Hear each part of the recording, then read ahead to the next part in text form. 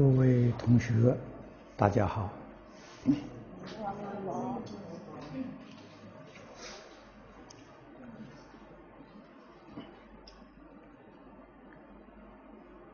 孔老夫子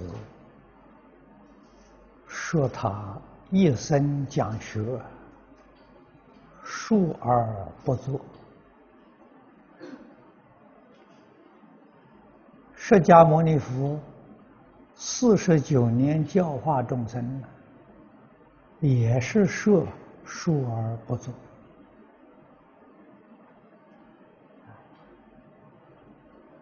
也就是说，他们所讲的这些道理，都是过去代代相传下来，没有自己的。创建啊！今天一般世间人常讲的创造，孔老夫子没有创造，释迦牟尼佛也没有创造。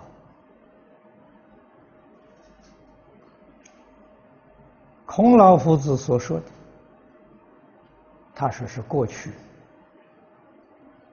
啊，皇帝。啊，夏商周、文武周公承传下来的，释迦牟尼佛讲是过去古佛代代相传下来的，决定不是自己创造的。那我们要问，那这些道理到底是谁创造的呢？没有人创造，实在讲，是从自信里面自自然然流露出来的。啊，谁的自信？是我们自己的自信，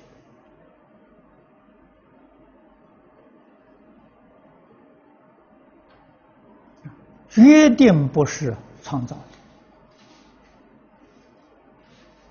大乘经上常讲：“自信本具智慧德能。”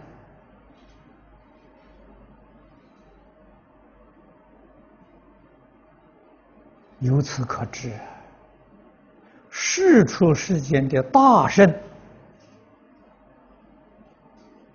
跟我们所说的，全是自信自然的流露。佛家讲法而如是，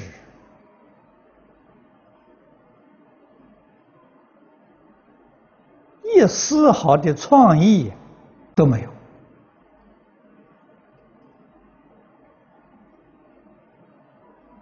这个才是真的。说是你创造的，那是假的。你创造是你的，不是自信。自信本具，自信是虚空法界，一切众生共同的本体。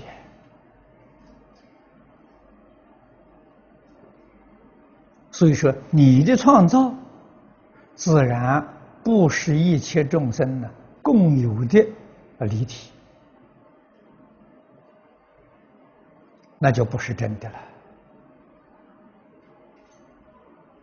现在人啊，这个创造的念头很浓啊，这是迷，这是分别，是妄想，是执着。从妄想、分别、执着里面流出来的东西，是违背自信的所以我们有一个创造的念头，就迷了。就已经错了，这个错误不但给自己带来了灾害，也给社会大众一切众生带来无穷的灾害。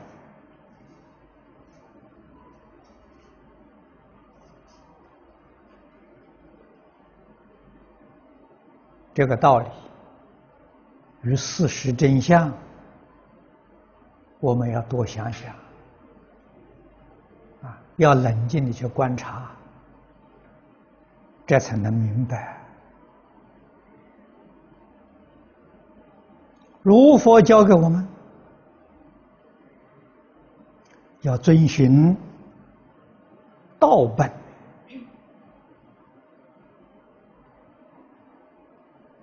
道本是什么？就大道之根本，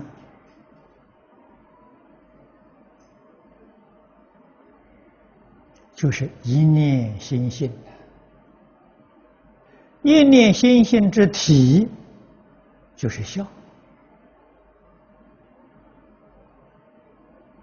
一念心性的作用，就是忠啊。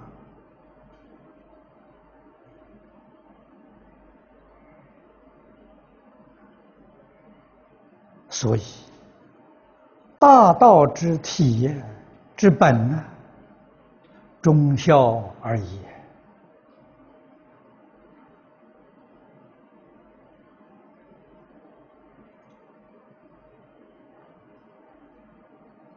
要我们起心动念，要遵循根本。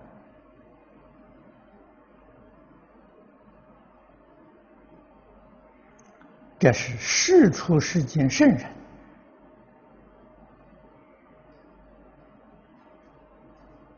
啊，自自然然流露出来的心性，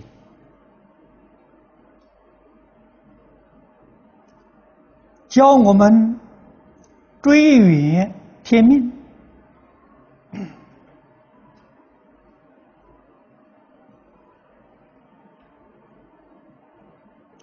什么叫天命？天就是自然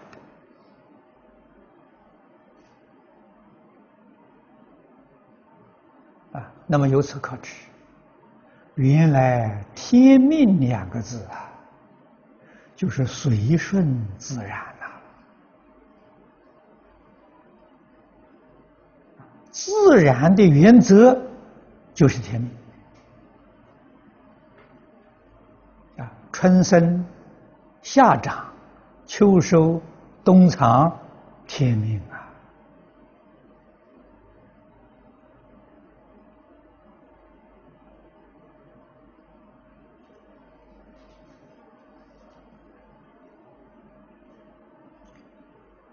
效法自然，随顺自然，这就是最健康的、最幸福的。最美满的人，不分贫富，不分贵贱，懂得随顺自然生活，懂得随顺自然工作。随顺自然处事，这个人就是圣人了。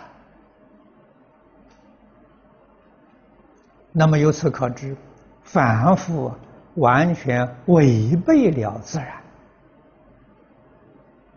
我们今天讲破坏自然环境啊！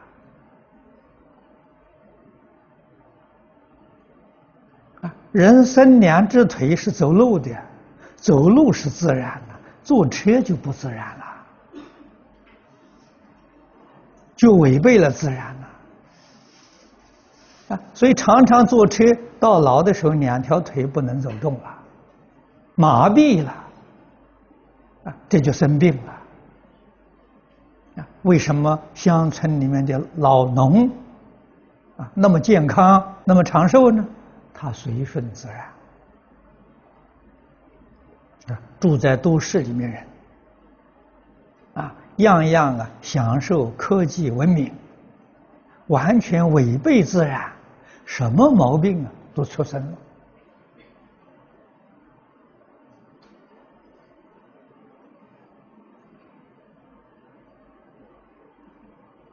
这个里面道理太深了。事项太繁杂了，我们多多想想。啊，我说的这些话，正是现在这个世界上灾难的根源。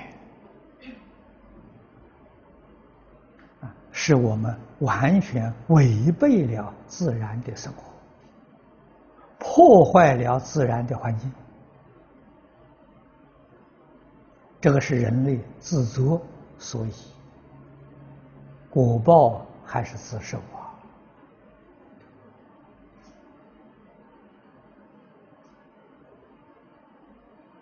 怎么样自救呢？这些圣贤人教给我们，上通天智啊！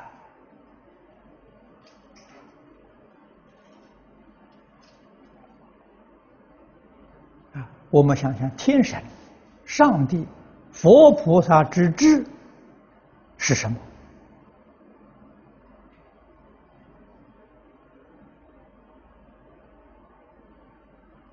以中国话来说，全在忠孝有悌。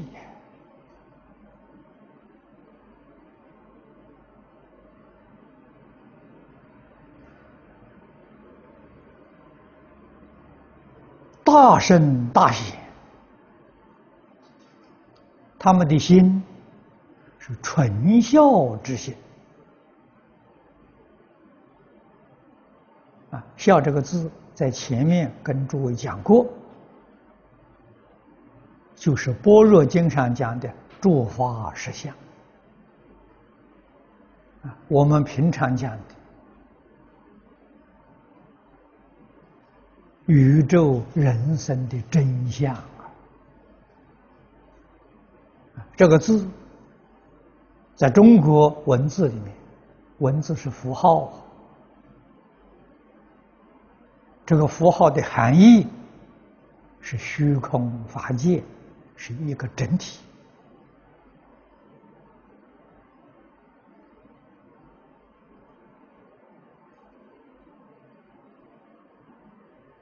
虚空法界一切众生是一个生命共同体，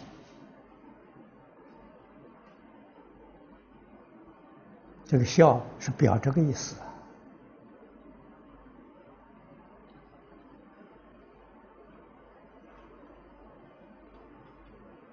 大乘经里面讲我有真我，我们现在一般人讲我这个概念是错误的，所以佛说无我。啊，无我相、无人相、无众生相、无寿者相，这佛给我们讲的。如果你明心见性了，有有常乐我净啊，有真我啊，真我不是这一个身呐，真我是虚空法界一切众生，那那是真我。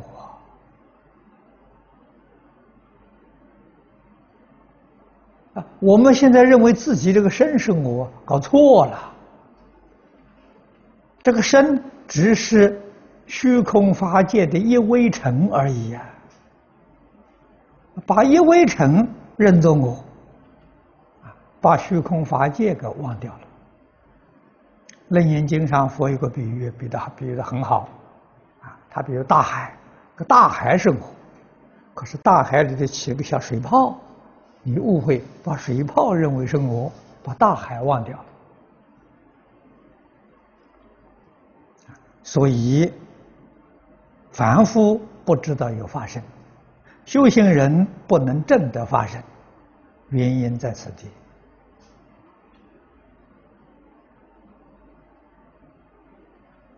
明心见性的人呢，他觉悟了，他认得了，啊，知道一切众生是我，于是起心动念呢，当然是为一切众生。啊，自私自利的念头啊，完全断绝干净了。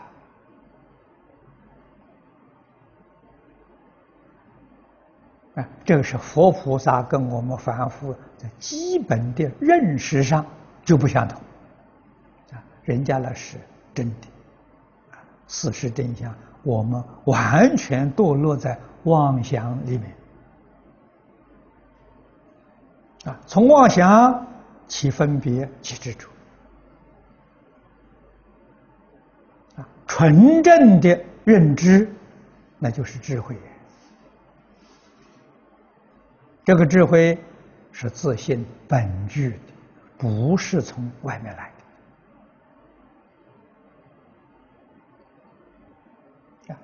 以这个认知起作用，孝悌忠信，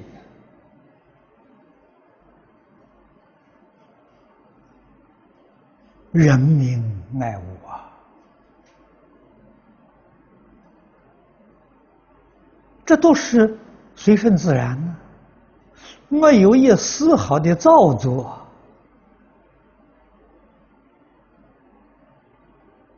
凡夫迷得太久了，无始劫来就迷失了自信，过的是什么日子？随顺自己的烦恼，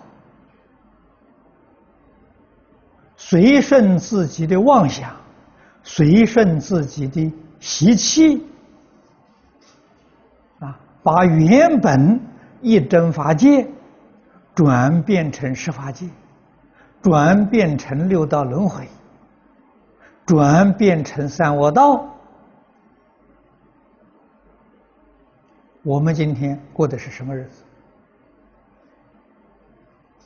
啊！如果我们看清楚、看明白了，我们今天过的是三恶道的日子。啊畜生、恶鬼、地狱啊！不要看到哦，像个人的身体，像个人的样子，他的思想、言行、生活全是恶鬼、畜生、地狱。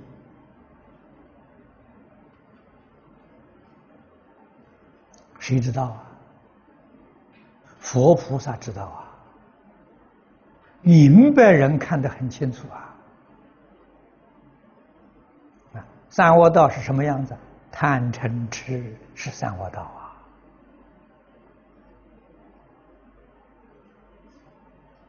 坚固的执着，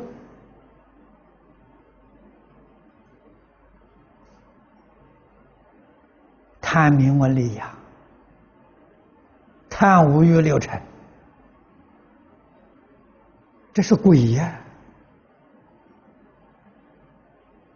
他的生活是轨道的生活啊！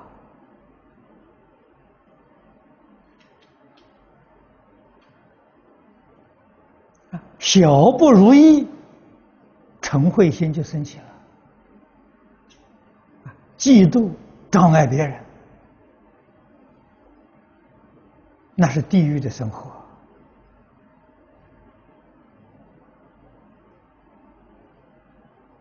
是非不明。正邪不变，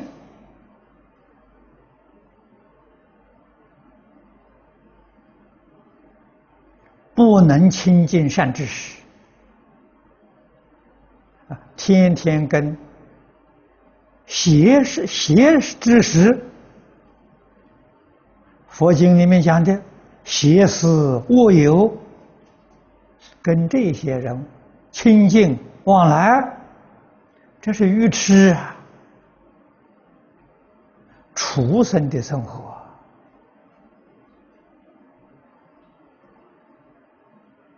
我们想想多可怕！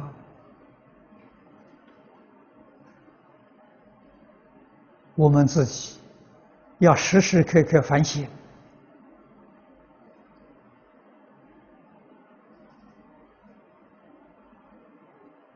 啊，不要去看别人，反省自己过的是什么生活。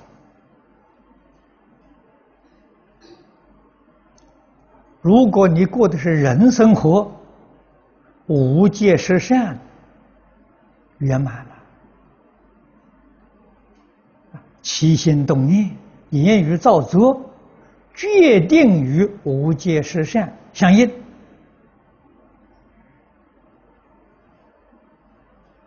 啊。决定于孝悌忠信相应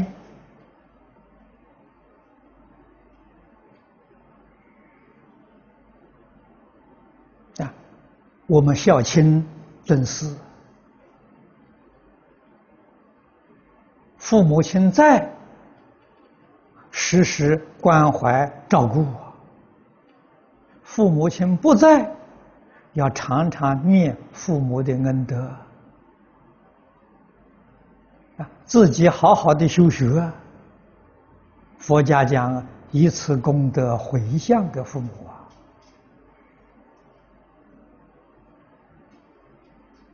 啊，什么功德呢？穿衣吃饭都是功德，起心动念都是功德，不敢起一个恶念，不敢打一个妄想，起个恶念，打个妄想，做一桩错事。对不起，父母，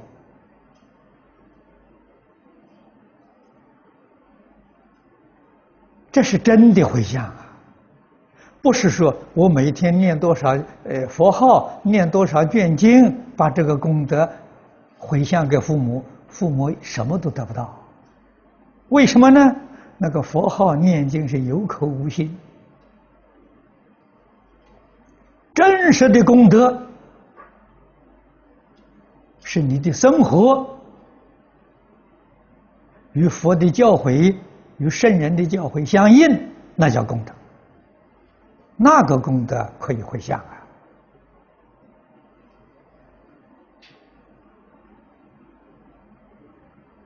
啊，所以真实的功德是在你起心动念，在你言语造作，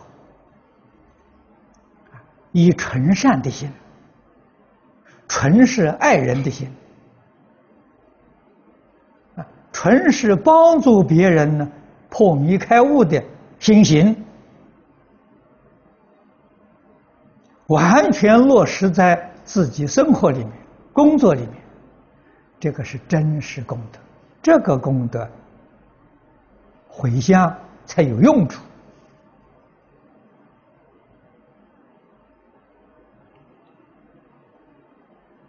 啊，这个是真正的孝顺父母啊，念念不忘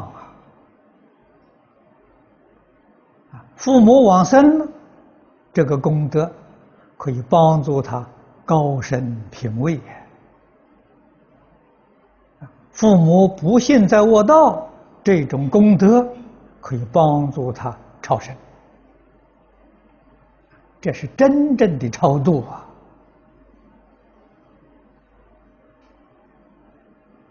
不是请几个和尚道士念经就能超度得了的，那是迷信的。完全在自己实际上的心性。诸位也许念过谭学法师的《隐城回忆录》，啊，谭老记载他那个朋友刘刘居士，啊，八载寒窗多冷眼，你看看他怎么超度他的。家亲眷属的，他怎么超度？冤亲债主没有任何形式，完全靠自己的德行啊！啊，起心动念，生活行为，如佛所教，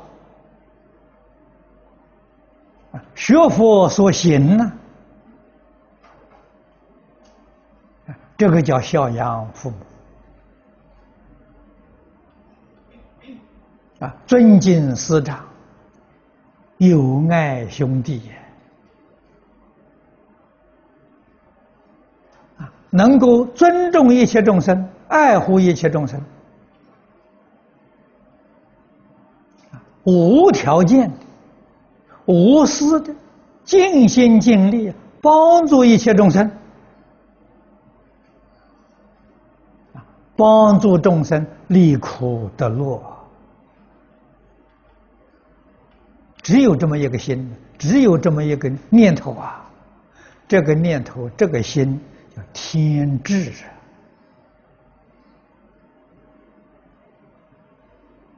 啊！在佛法里面讲，是佛的愿。诸位想想，我们最近在这边讲《无量寿经》，正好讲到四十八愿，愿愿。都是帮助众生离苦得乐吧？离苦得乐是个总愿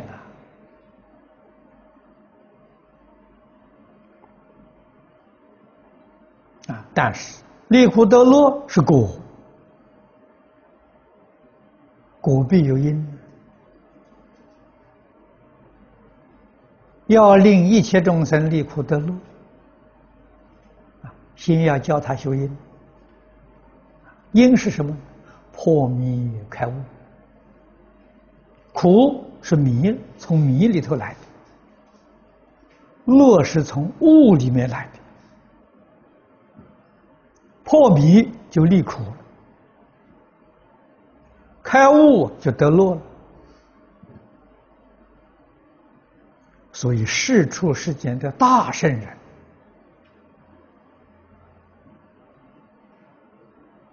他们一生都是从事于教学的工作，教学是直接帮助众生破迷开悟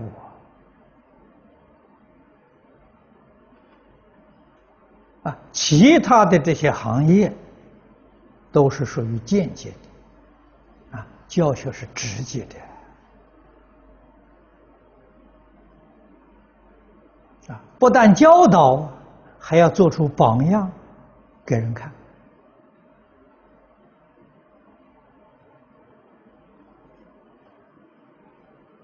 啊！希望的大家呢，看到他自己这个形象，听到他的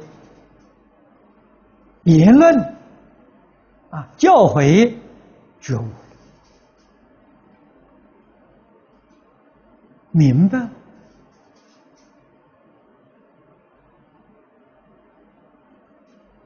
效法圣贤，向佛菩萨学习，这才能得到真实的果报。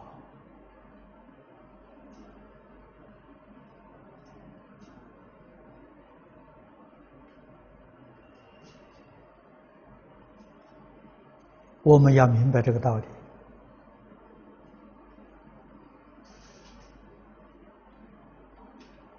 啊，尤其我们处在这个世纪末，灾难频繁，灾难也相当严重。啊，怎样消灾免难？啊，怎样自度度他？全在。明了宇宙人生真相，彻底回头，回头是岸了，这个问题就能够解决了。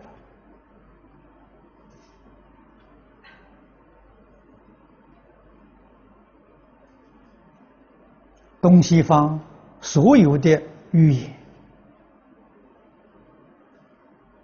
啊，说了许许多多。可能发生的灾难，幕后的结论都接得好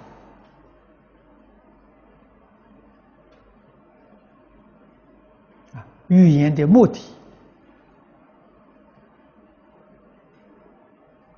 啊，不是警告你灾难要来临了，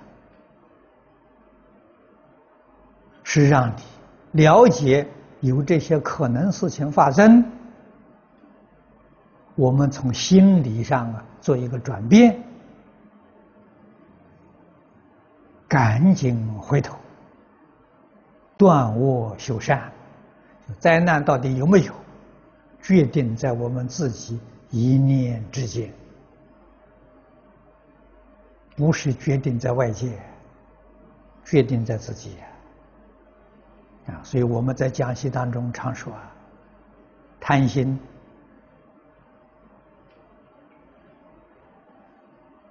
招来的水灾呀，《楞严经》上说的，嗔恚火灾呀。愚痴风灾啊，共高我慢地震的如果我们从内心里面熄灭贪嗔痴，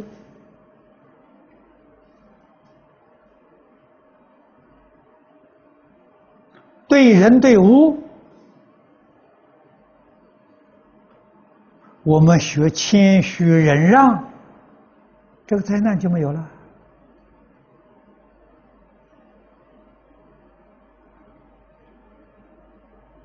啊！四禅天人为什么没有水火风大三灾呢？他贪嗔痴完全扶住了，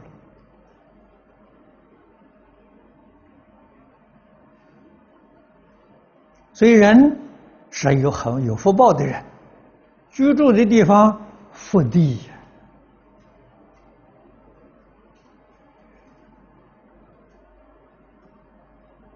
我们听佛说了，应当觉悟，应当明了啊！我们真正从内心里面熄灭贪嗔痴慢，以一片慈悲处世待人接物。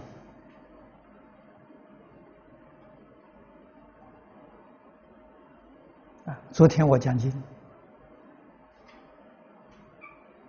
劝大家学佛菩萨。佛菩萨用什么眼光看人？看一切众生都是佛菩萨。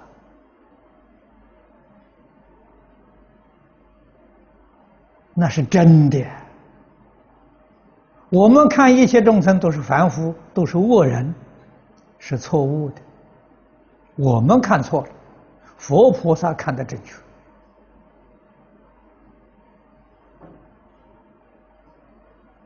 啊！可是，一般人听到我这个话，持相反的意见。佛菩萨看错了，我们看的正确。那个人明明那个是好人，那是坏人吗？啊，怎么佛菩萨好坏都不分呢？啊，实际上佛菩萨看的正确。我们看错了，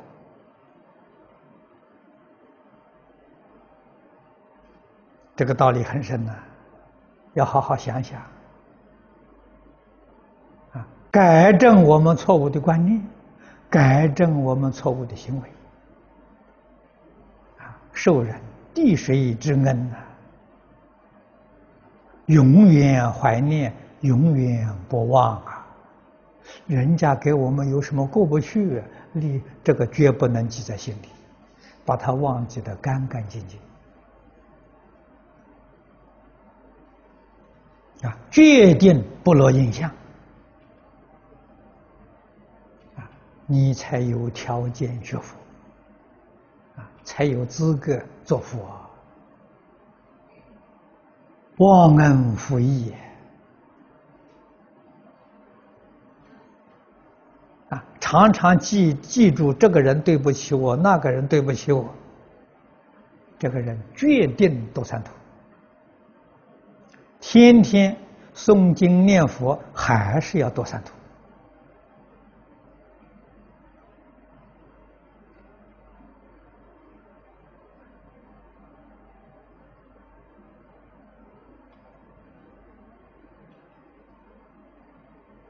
清朝初年。灌顶法师就是这个讲法啊，他讲的一点都不错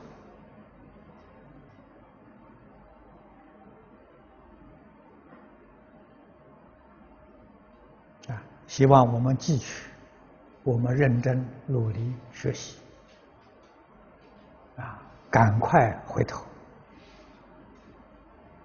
啊，消灾免难。好，今天时间到了啊，我们就讲到此地。